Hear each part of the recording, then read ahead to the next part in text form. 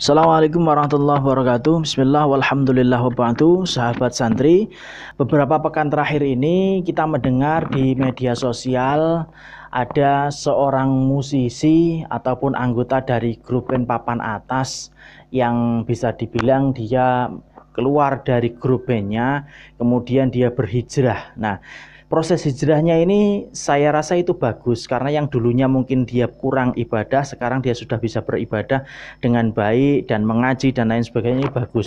Akan tetapi ada statement dari dia yang membuat banyak orang geram dan kemudian uh, menyebutkan dia itu hijrahnya salah guru dan lain sebagainya. Nah statement nah, statementnya itu seperti ini. Dia mengatakan bahwasanya musik itu haram, alat musik itu juga haram. Nah, ini yang akan menjadi topik pembahasan kita kali ini. Nah, uh, berdasarkan sepengetahuan saya yang jelas terkait dengan musik ini banyak kajian dari para ulama yang sudah mengkaji musik beserta alatnya yang ada yang mengatakan haram tersebut. Nah, hadis-hadis yang mengatakan tentang alat-alat musik itu haram itu hampir semuanya doaif. Ada satu hadis yang soheh itu pun perlu penelaahan, perlu penjelasan dan perlu pemahaman yang mendalam.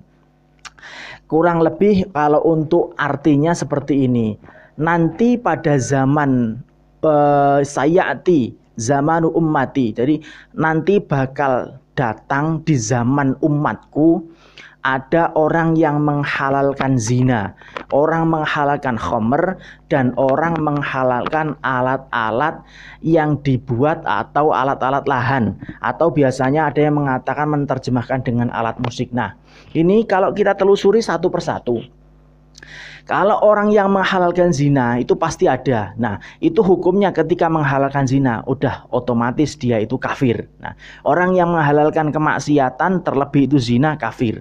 Orang yang mengharam menghalalkan khomer itu juga pasti kafir. Nah, akan tetapi terkait dengan alat musik ini yaitu alat yang dibuat untuk melalaikan. Nah, seperti itu ada penerjemahan alat yang melalaikan. Nah, ini ada yang menerjemahkan itu alat alat musik.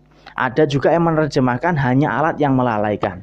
Nah, ini banyak kajian-kajian dari para ulama yang jelas tidak serta-merta dia menghalalkan alat musik itu, akan tetapi kita lihat apa yang dihasilkan dari alat itu. Nah, seperti ini contohnya. Alat musik itu banyak. Misal yang dipukul seperti contoh ada drum. Kalau zaman sekarang aja ada dadar buka. Kemudian ada rebana. Kemudian ada kentongan. Itu kentongan itu kalau dimainkan itu juga bagus suaranya. Nah, seperti contoh di desa, kalau malam orang keliling ronda untuk untuk menjaga-jaga agar tidak ngantuk, berjaga-jaga dia keliling. Dia memainkan kenongan dengan kentongan dengan suara yang indah bareng-bareng dengan temannya dengan tujuan memberikan keamanan untuk orang yang tidur, memberikan keamanan untuk desanya. Apakah itu juga termasuk maksiat? Itu jelas tidak. Apakah itu juga termasuk haram? Tentu tidak, karena fungsinya dia itu bagus. Nah, kemudian alat yang lain lah misalnya, kalaupun itu trompet misal. Ada yang mengatakan trompet itu haram trompet itu serulingnya setan dan lain sebagainya. Oh lihat dulu apa yang dihasilkan dari trompet itu? Zaman dulu ketika orang memberikan semangat untuk berjuang semangat perang mereka menggunakan trompet mereka menggunakan tabuhan gendrang mereka menggunakan tabuhan-tabuhan irama agar perang itu semangat membela agama itu semangat. Nah apakah itu juga haram? Tentu tidak Nah, ini perlu pembahasan yang lebih lanjut. Kalau musik haram, itu saya juga setuju, tapi lihat dulu musiknya. Nah, musiknya apa? Musik koplo yang isi lagunya itu koplo, isi lagunya itu mengajak ke kemaksiatan, itu haram saya setuju. Contoh, lagu misal koplo cinta satu malam. Apa maksudnya cinta satu malam itu? Nah, itu kalau diharamkan ya silahkan itu. Tapi kalau lagu-lagu yang religi, lagunya Opik, Tombo Ati, lagunya Maher Zen, Barakallahu lakum wa tarhamu alaikum wa jama'a alaikum bi khair itu, mana mungkin kita sebut haram. Kalau lagunya itu tidak melalaikan, kalau alat musik itu dimainkan dan tidak melalaikan, orang yang mendengarkan justru malah bertambah imannya untuk mengingatkan kepada untuk menjauhi kemaksiatan, mengingatkan ibadah kita, mengingatkan ibadah sholat lima waktu kita, kita. Apakah itu juga haram? Tentu tidak. Ini alat. Makanya ketika memahami hadis, banyak orang yang menggunakan hadis-hadis yang doif, padahal dia sendiri katanya anti hadis doif, tapi hadis doif yang seperti ini masih juga digunakan oleh mereka. Nah, ini salah pengertian di sini. Nah, untuk fenomena hijrah ini memang fenomena yang zaman sekarang ini lagi tren. Banyak orang-orang yang hijrah dengan baik. Nah, saran saya ketika mau hijrah, lihatlah gurunya siapa, seluk-beluknya dia siapa. Apakah dia benar-benar ulama ataukah benar-benar dia itu orang yang mempunyai pengetahuan tentang agama-agamaan ini luas ataukah hanya ulama-ulama sesaat dan ulama-ulama sesat. Nah, ini bahaya.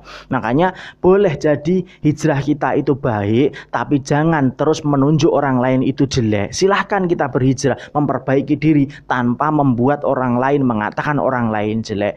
Terlebih tadi tentang pembahasan musik ini perlu kajian mendalam. Jangan serta-merta kalian sebut semua musik itu haram, semua musik itu menjadi tanduknya setan. Jangan.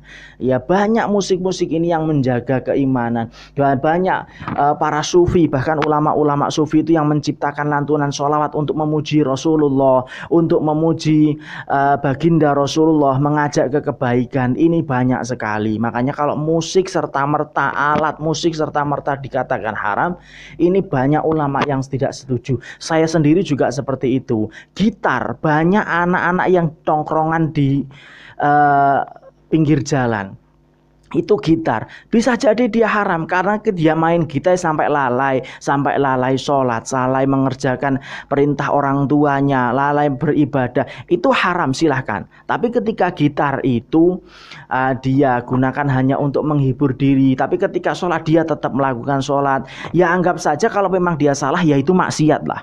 Maksiat dosa. Jangan sampai mengkufurkan dia jangan sampai serta merta kita menjeksis dia uh, mengatakan dia itu salah. Nah jangan seperti itu. Jadi alangkah baik ketika kita berhijrah, perbaiki diri kita dulu, baru bareng-bareng kita mengajak orang lain ke arah yang hijrah yang kebaikan itu. Jangan serta terus kita berhijrah, apakah kita suci? Tidak, kita ini baru mau proses gitu loh ya. Jadi ini uh, tentang terkait dengan musik dan fenomena hijrah saat ini. Mudah-mudahan ini bermanfaat. Assalamualaikum warahmatullahi wabarakatuh.